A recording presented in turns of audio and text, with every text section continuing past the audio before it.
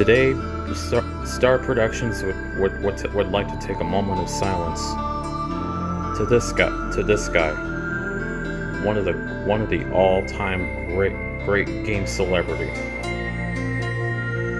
He passed away in the age of eight of 80 of 88 years old, passed away from a natural causes. So let's take a moment of silence to this guy.